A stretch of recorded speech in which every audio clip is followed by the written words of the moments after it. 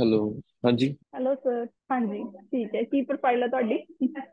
ਮੇਰੀ ਮੈਮ ਮੈਂ plus two ਕੀਤੀ ਹੋਈ ਆ ਆਈਐਸਸੀ ਤੋਂ। ਹਾਂਜੀ।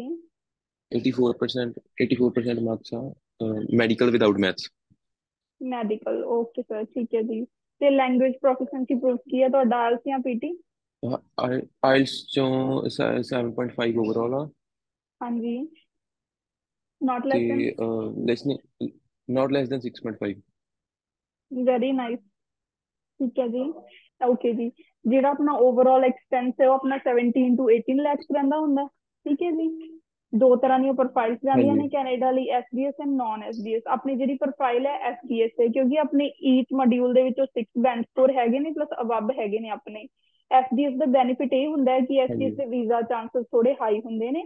ਨਾਨ ਐਸਡੀਐਸ ਦੇ ਨਾਲੋਂ ਠੀਕ ਹੈ ਜੀ? ਤੇ ਐਸਡੀਐਸ ਦੇ ਵਿੱਚ ਜ਼ਿਆਦਾ ਡਾਕੂਮੈਂਟੇਸ਼ਨ ਦੀ ਆਪਾਂ ਨੂੰ ਜ਼ਰੂਰਤ ਨਹੀਂ ਹੁੰਦੀ ਪਲੱਸ ਜ਼ਿਆਦਾ ਫਾਈਨੈਂਸ਼ੀਅਲ ਸ਼ੋ ਕਰਨ ਦੀ ਆਪਾਂ ਨੂੰ ਜ਼ਰੂਰਤ ਨਹੀਂ ਹੁੰਦੀ। ਠੀਕ ਹੈ ਜੀ? ਬਟ ਆਫਟਰ 10th ਆਫ ਅਗਸਤ ਜਿਹੜੀਆਂ ਥੋੜੀਆਂ ਕੈਟਾਗਰੀਜ਼ ਉਹ ਵੀ ਐਸਡੀਐਸ ਆ ਰਹੀਆਂ। ਬਟ ਜਿਹੜੇ ਸਟੂਡੈਂਟ ਨੇ ਆਇਲਸ ਕੀਤੀ ਹੈ ਜਿਨ੍ਹਾਂ ਦੇ ਈਚ ਮੋਡਿਊਲ ਤੋਂ ਅੱਛਾ। 6 ਅਬਵ ਹੈਗੇ ਉਹ ਹਮੇਸ਼ਾ ਹੀ ਕੈਨੇਡਾ ਦੀ ਫਰਸਟ ਪ੍ਰੈਫਰੈਂਸ ਰਹਿਣਗੇ। ਚਾਹੇ 5.5 ਵਾਲੇ ਆ ਜਾਣ ਪੀਟੀ ਵਾਲੇ ਆ ਜਾਣ। ਠੀਕ ਹੈ ਜੀ? ਸੋ ਆਪਣੀ ਪ੍ਰੋਫਾਈਲ ਹੈਗੀ ਹੈ ਜਿਹੜੀ ਉਹ ਐਸਪੀਐਸ ਚਾਹੂਗੀ ਆਪਣੇ ਵੀਜ਼ਾ ਦੇ ਚਾਂਸਸ 90% ਹੈਗੇ ਨੇ। ਸਭ ਤੋਂ ਫਰਸਟ ਸਟੈਪ ਜਿਹੜਾ ਰਹੂਗਾ ਉਹ ਹੋਊਗਾ ਆਪਣਾ ਆਫਰ ਲੈਟਰ ਆਫਰ ਲੈਟਰ ਆਪਾਂ ਅਪਲਾਈ ਕਰਨਾ ਹੈ। ਉਹਦੇ ਲਈ ਦੋ ਚੀਜ਼ਾਂ ਸਭ ਤੋਂ ਇੰਪੋਰਟੈਂਟ ਹੁੰਦੀਆਂ ਨੇ। ਫਰਸਟ ਤਾਂ ਹੁੰਦੀ ਹੈ ਰੈਲੀਵੈਂਸੀ ਜਿਹੜੀ ਵੀ ਆਪਣੀ ਲਾਸਟ ਐਜੂਕੇਸ਼ਨ ਹੈ ਉਹਦੀ ਰੈਲੀਵੈਂਸੀ ਜਿਹੜਾ ਆਪਾਂ ਫਿਊਚਰ 'ਚ ਪ੍ਰੋਗਰਾਮ ਚੂਜ਼ ਕਰਨੇ ਉਹਦੇ ਨਾਲ ਹੋਣੀ ਬਹੁਤ ਜ਼ਰੂਰੀ ਹੁੰਦੀ ਹੈ। ਠੀਕ ਹੈ ਜੀ? ਜੇ ਆਪਾਂ ਇੱਥੇ ਗਲਤ ਹੋ ਗਏ ਫਰਸਟ ਸਟੈਪ ਤੇ ਤਾਂ ਕੱਲ ਨੂੰ ਆਪਾਂ ਨੂੰ ਪੀਆਰ ਤੱਕ ਦੀਆਂ ਵੀ ਦਿੱਕਤਾਂ ਆ ਸਕਦੀਆਂ ਨੇ ਕਿਉਂਕਿ ਕਈ ਵਾਰ ਉੱਥੇ ਇੰਟਰਵਿਊ ਵੀ ਆ ਜਾਂਦੀ ਹੁੰਦੀ ਹੈ। ਠੀਕ ਹੈ ਜੀ?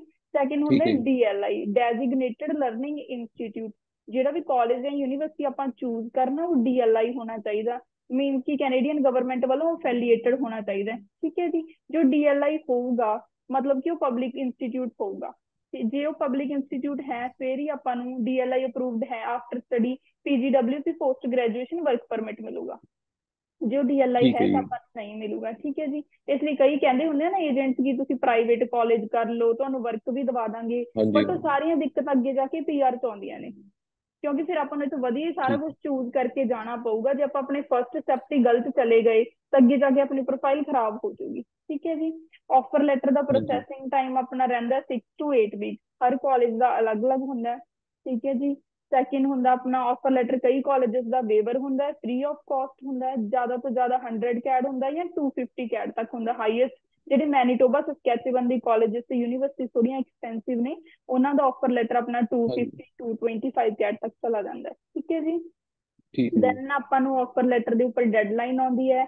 ਡੈਡਲਾਈਨ ਦੇ ਉੱਪਰ ਆਪਾਂ ਟਿਊਸ਼ਨ ਡਿਪੋਜ਼ਿਟ ਕਰਾਉਣੀ ਹੈ ਜਿੰਨੀ ਡੈਡਲਾਈਨ ਆਊਗੀ। ਜਿਹੜੀ ਟਿਊਸ਼ਨ ਡਿਪੋਜ਼ਿਟ ਹੈ 1 ਹਾਂਜੀ ਈਅਰ ਦੀ ਪੇ ਕਰਕੇ ਜਾਣੀ ਜ਼ਰੂਰੀ ਹੁੰਦੀ ਹੈ ਕਿਉਂਕਿ ਐਮਬੈਸੀ ਦੀ ਰਿਕੁਆਇਰਮੈਂਟ ਹੈ। ਆਪ ਉਸ ਤੋਂ ਘੱਟ ਨਹੀਂ ਪੇ ਕਰਕੇ ਜਾ ਸਕਦੇ। ਠੀਕ ਹੈ ਜੀ? ਜਿਹੜੀ ਟਿਊਸ਼ਨ ਡਿਪੋਜ਼ਿਟ ਹੈ ਆਪਣੀ 9.5 ਤੋਂ 13 ਲੱਖ ਦੇ ਵਿੱਚ ਰਹਿਣੀ ਹੈ। ਕਈ ਕਾਲਜਸ ਦੀ ਕਿੰਨੀ ਪ੍ਰੋਗਰਾਮ ਦੇ ਅਕੋਰਡਿੰਗ ਕਈਆਂ ਦੀ ਕਿੰਨੀ।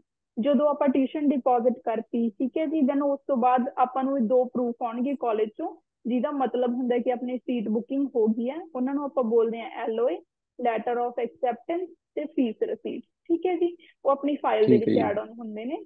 ਦੈਨ ਆਪਾਂ ਕਰਾਉਣਾ ਹੁੰਦਾ ਜੀਆਈਸੀ ਗਰੰਟਡ ਇਨਵੈਸਟਮੈਂਟ ਸਰਟੀਫਿਕੇਟ ਆਪਣਾ ਜਿਹੜਾ ਉੱਥੇ ਐਕਸਪੈਂਸ ਹੈਗਾ ਉਹਨੂੰ ਕਵਰ ਕਰਨ ਦੇ ਲਈ ਜੀਆਈਸੀ ਅਕਾਊਂਟ ਓਪਨ ਹੁੰਦਾ ਹੈ।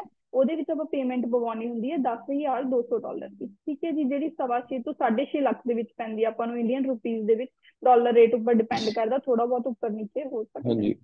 ਦੈਨ ਆਪਾਂ ਕਰਾਉਣਾ ਹੁੰਦਾ ਮੈਡੀਕਲ ਮੈਡੀਕਲ ਆਪਾਂ ਹਰ ਡਾਕਟਰ ਤੋਂ ਨਹੀਂ ਕਰਵਾ ਸਕਦੇ ਜਿਹੜੇ ਆਈਆਰਸੀਸੀ ਵੱਲੋਂ ਅਪਰੂਵਡ ਨੇ ਅਫੀਲੀਏਟਡ ਨੇ ਫਿਜ਼ੀਸ਼ੀਅਨ ਪੈਨਲ ਦੇ ਅੰਡਰ ਆਉਂਦੇ ਨੇ ਉਹਨਾਂ ਤੋਂ ਹੀ ਕਰਵਾਉਣਾ ਹੁੰਦਾ।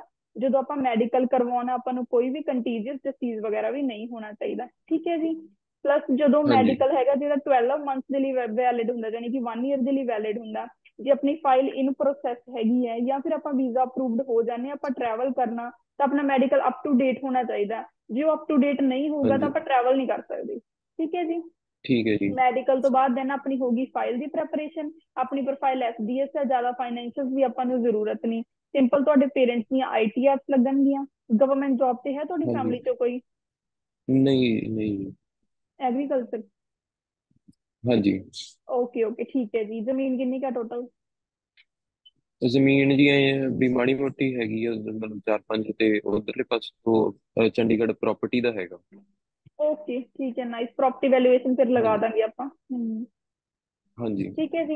ਇੱਕ ਆਪਾਂ ਨੂੰ ਬੈਂਕ ਬੈਲੈਂਸ ਸਰਟੀਫਿਕੇਟ ਚਾਹੀਦਾ ਉਹ 15 ਟੂ 18 ਲੱਖ ਤੱਕ ਦਾ ਬਸ ਦੈਟਸ ਇਟ ਇਹੀ ਚਾਹੀਦੇ ਨੇ ਆਪਾਂ ਨੂੰ ਐਸਬੀਐਸ ਤਾਂ ਦੇ ਡਾਕੂਮੈਂਟ ਫਿਰ ਆਪਾਂ ਫਾਈਲ ਲੌਜ ਕਰ ਦੇਣੀ ਹੈ। ਫਾਈਲ ਲੌਜ ਦਾ ਐਕਸਪੈਂਸ ਹੈ ਜਿਹੜਾ 235 ਕੈਡ ਹੁੰਦਾ ਠੀਕ ਹੈ ਜੀ ਉਹਦੇ ਚ ਬਾਇਓਮੈਟ੍ਰਿਕ ਦੀ ਫੀਸ ਵੀ ਇਨਕਲੂਡ ਹੁੰਦੀ ਹੈ।